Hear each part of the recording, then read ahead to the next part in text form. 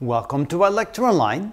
In the previous video, we figured out how much work it would take to take 100 meters of fluid and move it a distance of 100 meters. The work was 29,452 joules. Now, the question is how much power will it take to move that fluid?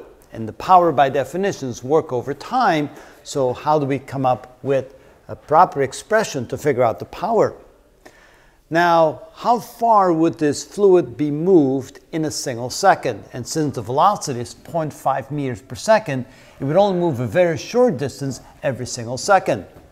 We know how much work it takes to move it a full 100 meters, which means a half a meter is only 1 200 as much distance, and so the power the power would be equal to work divided by time, and so since we're only moving at 0.5 meters and the total distance, the total amount of work required to move the total distance 100 meters means we only need 1 200 as much work to do that. So the work required would be equal to uh, 29,452 joules to move it 100 meters.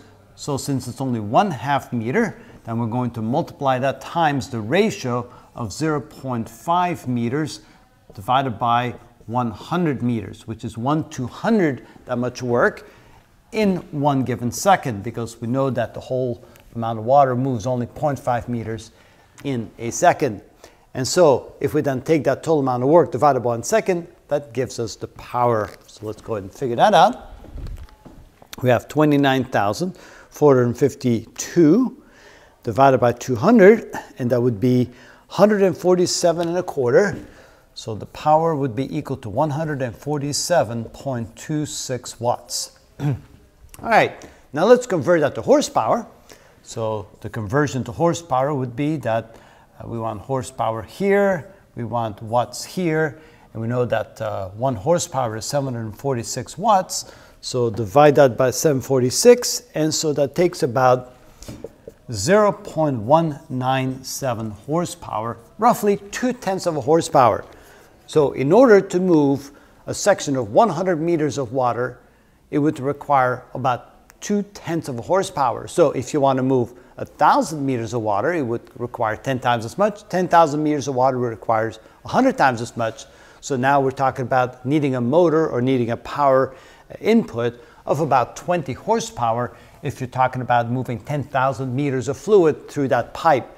So this would be the amount of power required for a 100 meter section of the pipe.